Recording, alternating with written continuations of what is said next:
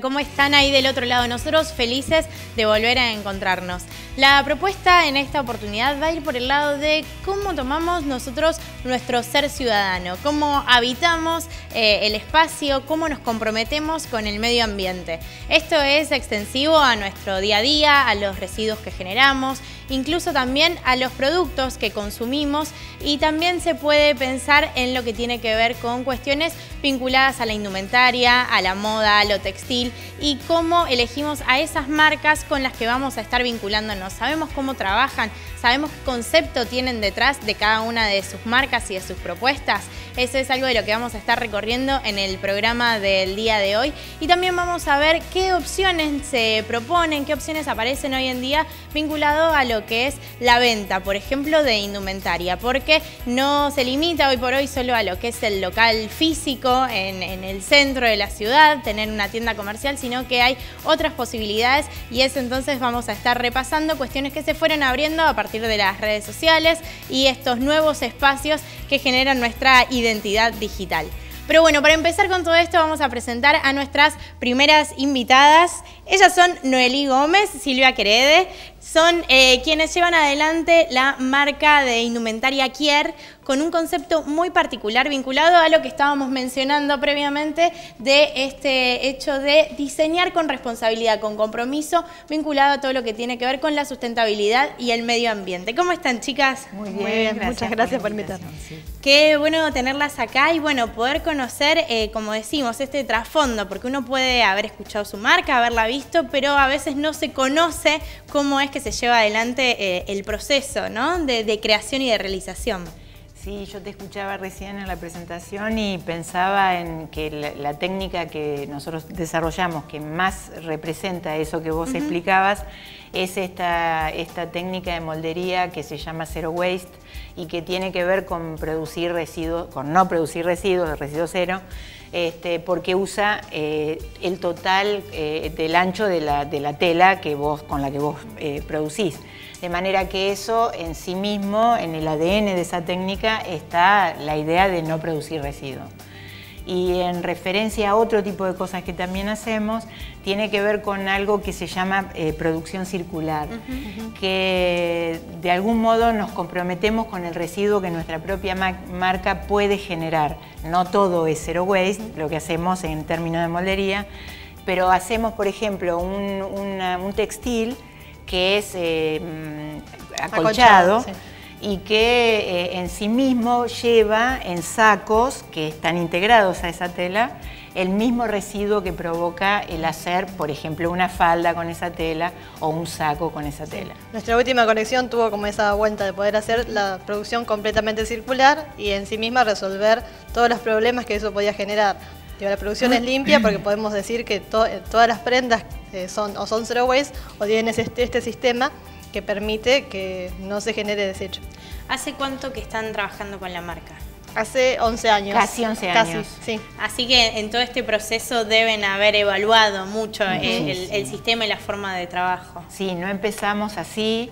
Empezamos, por supuesto, trabajando con eh, desechos eh, y, remanentes de textiles que provenían de una industria a la que yo estoy de algún modo mm, cerca porque es, perteneció a mi familia. Eh, entonces, con eso contábamos.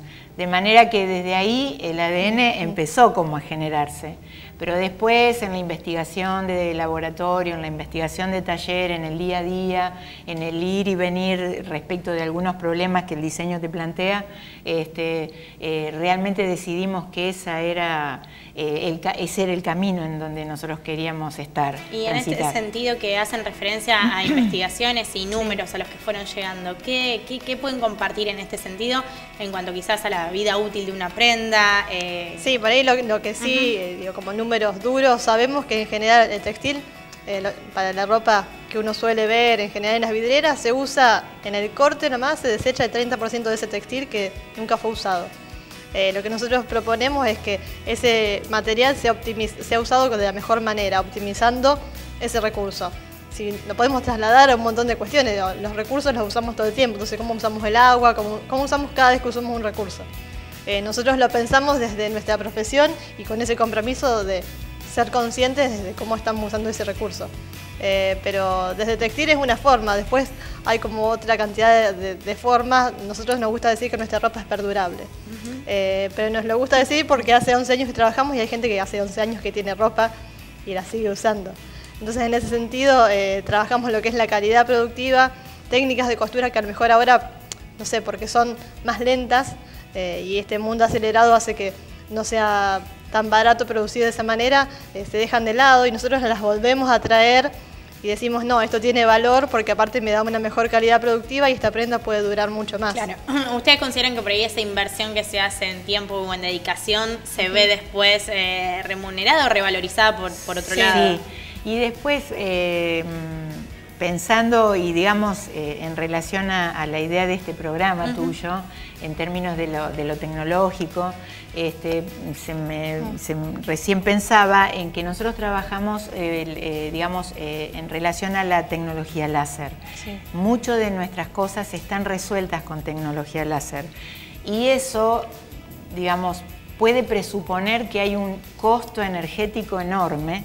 Sin embargo, cuando hicimos todo el raconto de este gasto, del otro, de las horas, de la mano de obra que llevaría un sistema tradicional de producción, con la tecnología láser nosotros casi, eh, digamos, eh, em, dividimos ese costo a la mitad.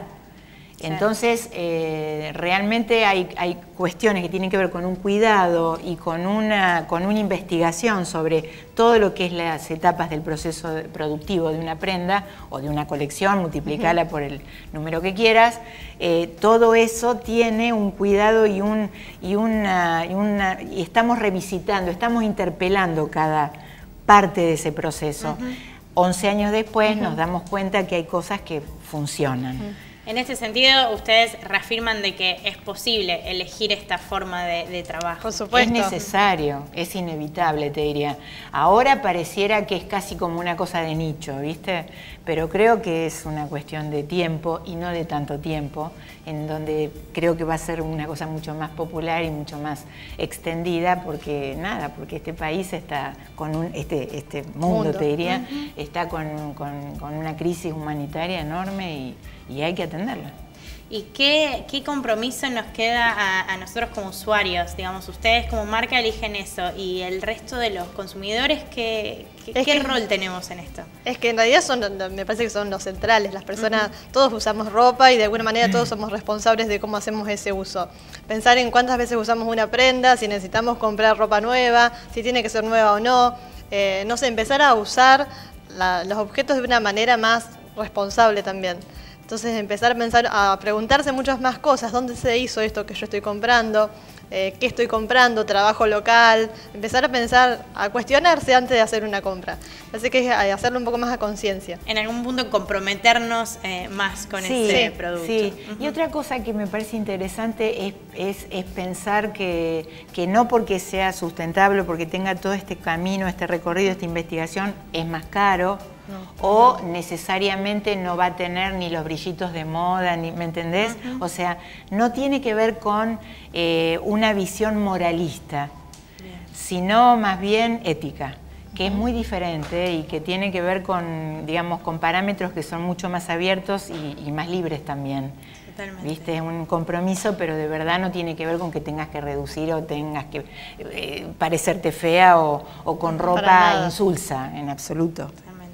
Bueno, derribar mitos entonces. Sí, una cosa así. Bueno, muchas gracias chicas entonces por compartir cómo es su, forma de trabajo y bueno, ojalá esta, esta forma de pensarlo sea extensivo. Ojalá, sí Bueno, las pueden encontrar en redes sociales. ¿A sí, sí, por supuesto. Como quiera Argentina, como quiera, ahí estamos. Bárbaro. En todas. Perfecto. Bueno, hecha la invitación entonces para conocer un poco más eh, la propuesta que traen las chicas de Kier y cómo es esto importante que nosotros nos comprometamos también con las elecciones que vamos haciendo.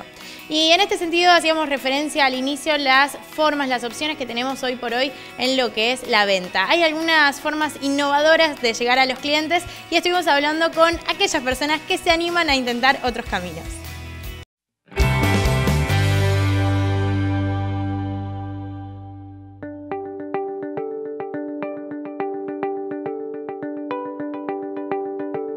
Hola, ¿qué tal? Eh, mi nombre es Nadia, eh, soy una de las creadoras de Muy Punch. Hace cinco años que estamos en, la ciudad de Rosario. Tenemos un estilo bien definido, eh, es un estilo rock. Eso lo supimos desde un principio que queríamos hacer remeras estampadas con una impronta rock. Siempre en cuanto también a las redes sociales tratamos de mostrar ese espíritu rock. No es solo la remera estampada, sino toda una imagen que, que nos acompaña en ese sentido. Arrancamos por Facebook hace cinco años vendiendo bolsos. Creo que era una tanda de 10 bolsos, 12, con eso apenas eh, vendimos esos 10, 12 bolsos, dijimos, bueno, no, vamos a hacer otra cosa, o sea, enseguida hicimos musculosas y ahí empezamos a crecer, a, crecer. Siempre fue de manera online, empezamos por Facebook, a los 5 o 6 meses nos hicimos una tienda online y, empezamos a crecer. Después de la feria de los domingos, pero bueno, fue todo un recorrido que sí, que nos hizo buscarlo, buscar y hacia dónde apuntábamos y qué era lo que, lo que queríamos hacer y creo que en eso siempre fuimos bastante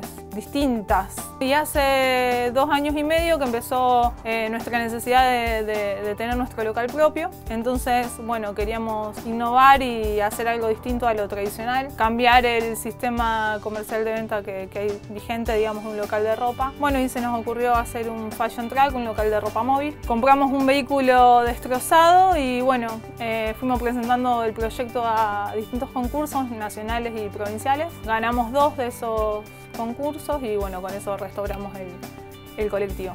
En realidad no lo inventamos, obviamente, eh, es algo que ya existe en Europa y acá en Argentina no, estaba, más que usarlo esporádicamente, eh, lo vimos en la costa, en Cariló, un tráiler, en realidad no era autónomo, eh, de una marca de ropa, pero dura la temporada, dos o tres meses y desaparece. Nuestra idea es quedar permanentes y que se sumen otros emprendedores a, bueno, generar una cadena de diseñadores independientes movilizados, o sea, eso es lo innovador y, lo diferente.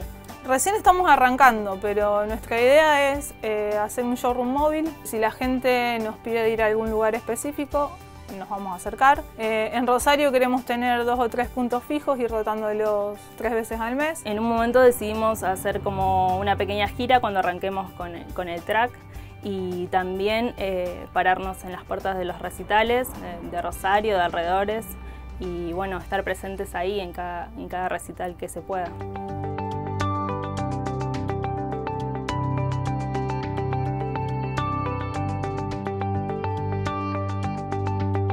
Soy Euge de Guía María. Tengo, bueno, esta marca fue creada hace 10 años. Eh, empecé con un con pocas prendas y, fue creciendo a lo largo del tiempo, de cual también hice bueno, eh, ventas por mayor eh, y fue adquiriendo un montón de clientes según sus necesidades. También como soy diseñadora de moda y gráfico, eh, bueno, tengo la visión, digamos, de lo que es más importante, que es todo el tema visual, las producciones de fotos, que eso es lo que más impacta y llama para que la gente sea atraída y mostrar bien el producto. Al principio, bueno, por mayor, los locales, eh, digamos, por distintos puntos del país, eh, también locales acá en Rosario, hasta que abrí mi firma en un local comercial a la calle. Eh, después de seis años ahí me di cuenta también de que quería yo personalmente seguir estudiando y avanzando en otras partes de la profesión. Este año hicimos el formato de un showroom que es más íntimo, donde el cliente se siente más cómodo, viene a la hora que lo necesita y bueno, la atención es distinta porque solamente estás con el cliente. Entonces podés hablar más tranquilos, podés idear,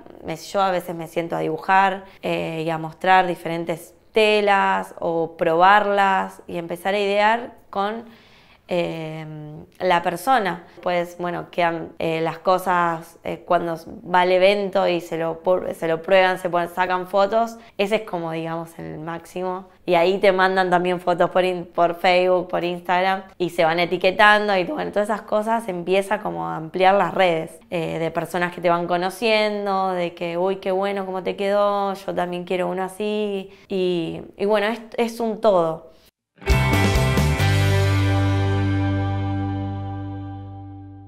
Y eh, dijimos que el programa de hoy iba enfocado al compromiso que tenemos nosotros como ciudadano. El vivir en la ciudad tiene ciertas responsabilidades aparejadas y por eso vamos a conocer un evento que está vinculado a esta cuestión. Hacernos cargo de nuestros residuos. Se trata de un basuratón que se va a estar llevando adelante el 4 de agosto en la ciudad de Rosario y estamos con sus organizadores. Camila, Leo, ¿cómo están? Hola, ¿cómo andás?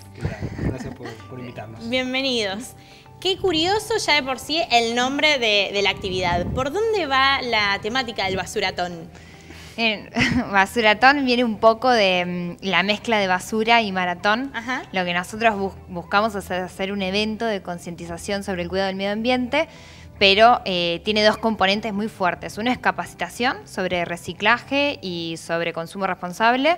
Y en una segunda instancia, una maratón, porque esa es nuestra dinámica de apropiación de problema. La gente va a ir por un espacio de la ciudad determinado, que ya tenemos prefijado, que son los parques colectividades, España y el del Monumento de la Bandera, recolectando y ya separando la basura para reciclarla. Esto es apropiación del problema porque lo que nos pasa muchas veces es que pasamos por al lado de la basura en la ciudad y no la, no la levantamos o nosotros mismos la tiramos o no nos hacemos cargo que es un problema de todos y que la ciudad la construimos y la cuidamos entre todos. Totalmente, totalmente cierto y la importancia ¿no? de hacernos cargo de eso. ¿Y este evento dónde surgió? Bueno, tiene sus orígenes eh, en Suecia, eh, pero bueno, nosotros eh, al traerlo para acá quisimos darle un enfoque eh, todavía más en lo ecológico, no en lo deportivo, que sea una jornada eh, que hiciera principalmente eh, foco en esto de, de la concientización acerca de lo que es la recolección de residuos, la separación de residuos. Por eso bien como decía Cami, es tan importante esto de que está dividido en dos partes, donde primero hay una capacitación eh, con profesionales eh, a cargo, que son los que realmente saben eh, las cuestiones técnicas, que van a estar hablando un poco, que nos van a enseñar que no todo se recicla, cómo se, cómo se deben separar los residuos, y luego está la parte de lo que es la, la- la maratón, que como dijimos, va, como lo planeamos o lo pensamos que es una maratón inclusiva, es decir, no es que hay que salir a correr, sino que también se puede hacer una, una buena caminata. La idea es justamente esta combinación de, de- dos ideas eh, para que sea algo también, algo entretenido, que genere justamente esta concientización y que realmente sirva de algo. Qué buena oportunidad también para juntarse, quizás en familia, entre amigos, eh, con una excusa diferente, probar algo nuevo y bueno, también la gente que se, que se entrecruce ahí van a tener intereses comunes, es una, buena oportunidad. Buscamos armar una ecocomunidad Ajá. porque es un problema que tenemos que resolver entre todos, no de a uno. Entonces es una actividad que genera esta cohesión social y, y este sentido de pertenecer a una comunidad que está en busca de, de mejorar la ciudad en la que vivimos. Hablando en cuestiones de, de basura, de residuos, contaminación, ¿cómo, ¿cómo está la ciudad de Rosario en este sentido? La ciudad de Rosario hoy en día tiene varias iniciativas, están los tachos naranjas, que si bien mucho la gente cuando tira la basura no lo respeta, es un servicio que provee la municipalidad y que anda. Después hay puntos de reciclaje que se hacen cada una determinada cantidad de días, donde haces un canje, vos llevas la basura ya separada para reciclar, ellos te dan alguna planta o alguna carga para la móvil, alguna cosa así. Y después hay otras iniciativas eh, personales que no vienen desde la municipalidad. Hay varias cosas, pero aún así sigue siendo un problema y nosotros lo que buscamos, o sea, si bien hay mucha información y capacitación y cursos, buscamos eh, hacer esta apropiación de problemática donde yo como ciudadano soy parte de cuidar el espacio público que es mío y es de todos. Entonces por eso es lo que trae esta... esta Como que más allá de la propuesta que venga traída desde el Estado, cada uno elija, ¿no? Hacer un pequeño Exacto. aporte. Exacto. Exacto. Y también imagino debe ser eh, una, una variante importante la cantidad de residuos que se generan hoy en día en cuanto, en cuanto a plásticos u otro tipo, bueno, residuos informáticos, por ejemplo, ¿no? que deben tener otro proceso de transformación que, bueno, que años atrás donde era, era otra la basura, digamos, ¿no? nuestro día a día. Sí. Sí, tal cual. Por suerte, lo que es residuos informáticos o pilas no se ve tan, en tanta cantidad en la calle como plásticos, que es algo que tarda mucho en degradarse porque tenemos el envoltorio de la galletita, la, la botella de Coca-Cola, lo que, lo que nosotros consumimos día a día, vamos consumiendo en la calle y tiramos. Eso es la principal problemática que vamos a atacar ahora. Después, bueno, hay todo un proceso de reciclado diferente para algunos residuos como más eh, peligrosos o contaminantes como pueden ser pilas, residuos informáticos. Y también que importante saberlo, porque a veces uno, digamos, tiene ahí eh, algo que sabe la, pila, uno sabe que no hay que tirarlo en el tacho de basura. Bueno, ¿qué la hago? ¿Dónde, ¿A dónde va? ¿A dónde sí, tiene que ir? Tal cual. Eh, tener esa información es sumamente válido. Y también pienso un poco el rol que cumplen los más chicos. Esto lo tienen más incorporados que los adultos. Es más raro ver a un nene tirando un papelito en la calle, o, quizás sí, lo tira el padre y el nene va y lo levanta y lo reta, ¿no? Eh, trabajar con los chicos me imagino que también debe ser uno de los, de los puntos. Es importante. Eh, nosotros, a ver, como bien dijiste al principio, también es importante que tal vez pueda ser una jornada familiar, que sea un lugar de encuentro, que sea algo más bien inclusivo, abarcativo, e invitamos a todos a participar. El tema de lo que es la educación es muy importante y tal vez por eso mismo es que hoy los chicos lo tienen más aprendido, porque se está, se está discutiendo eh, ya desde temprana edad y en otras instancias se está hablando del tema. Por eso también es que nosotros buscamos darle, buscamos darle difusión, que sea también algo más bien masivo eh, y que parta desde incluso desde nosotros, como bien decían eh, al principio, y que desde la misma familia la educación también tenga en cuenta todo lo que es la separación de residuos, el reciclaje, incluso cuando antes hablábamos de em, tal vez desechos peligrosos o eh, ya vamos y decimos la galletita, la gaseosa, también es importante hablar del consumo responsable, que es algo que también se va a intentar abordar. Y respecto al tema de la infancia, eh, estamos pensando algunas alternativas para que haya... Eh, previo a lo que es la parte de la maratón y tal vez posterior eventos donde los chicos puedan tener algunas actividades particulares. Es algo que estamos pensando, intentando de vuelta en que sea lo más abarcativo posible eh, y que también sea seguro, porque debe ser un espacio eh, donde todos seamos responsables y tener todo este tipo de cuidados. Por eso no es tan sencillo a veces eh, la inclusión de, los niños, porque tiene que haber, tiene que haber adultos responsables, voluntarios y varios factores a tener en cuenta. Eh, en relación a esto, ¿en qué eh, cantidad de tiempo está planteada la jornada? ¿De qué hora a qué hora? Eh, la jornada es el 4 de agosto, dentro de poquito, el domingo 4 de agosto, de 10 de la mañana a 1 del mediodía aproximadamente. Nos concentramos en Oroño del Río, donde vamos a hacer la capacitación y, y vamos a repartir, bueno, un kit de basuratón, que son bolsas biodegradables, guantes, eh, hacer la capacitación misma y un profesor de educación física nos va a apoyar para hacer al principio una entrada en calor y enlongar al final. Así que bueno, ahí nos concentramos y después vamos a recorrer los tres parques eh, durante un tiempo determinado y nos volvemos a concentrar ahí. ¿Cómo, cómo se proyectan eh, el impacto o cómo lo están viendo hasta ahora? Sé que lo empezaron a anunciar en redes sociales, la respuesta de la gente. piensan hacerlo con, con, frecuencia mensual, anual, acompañarlo quizás con otras actividades. Bien, eh, creo que ha tenido muy buena respuesta tanto de la gente a lo que es nivel redes como en otros medios que se nos han acercado.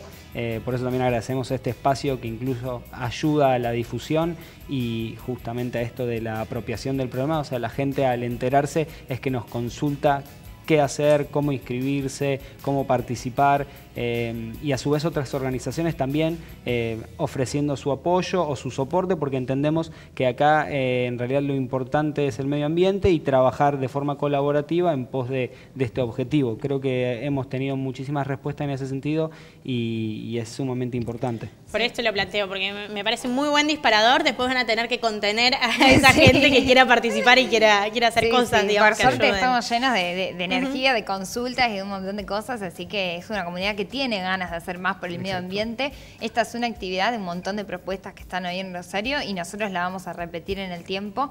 Todavía no tenemos en claro la frecuencia, pero bueno, también la queremos extender a otras ciudades, así que... Eh, vamos con, largamos la primera hora, pero es el comienzo, digamos. Excelente, bárbaro. Bueno, ahí vamos a estar entonces. Bueno, muchas gracias. Muchas gracias. Gracias, chicos. Hecha la invitación, pueden entrar en las redes sociales, lo buscan como Basuratón Rosario y ahí pueden encontrar toda la información específica. Van a ver que esto es el principio de un montón de cosas porque, como les decía, los chicos después hay que hacerse cargo de este compromiso que queremos generar, de este disparador que estamos buscando en el hecho de ser conscientes, ser responsables, cuidar el planeta. Es el único que tenemos, al menos hasta el momento. Así que eh, la vida urbana tiene que ir acompañando los procesos del medio ambiente y de la ecología. Y con este repaso entonces vamos terminando el programa del día de hoy. Es un gusto, como siempre, encontrarnos. Recuerden que pueden buscar esta nota y todas las que vamos pasando programa a programa en nuestro canal de YouTube. Nos buscan como Popurrí Digital, hacen clic en suscribirse y tienen la posibilidad ahí de ir viendo todos los programas e incluso recibir una alerta cada vez que hay una nueva emisión. Así no se pierden nada, lo pueden compartir con quien quieren e invitar a las personas que les puede interesar a participar y a sumarse. Será hasta la próxima.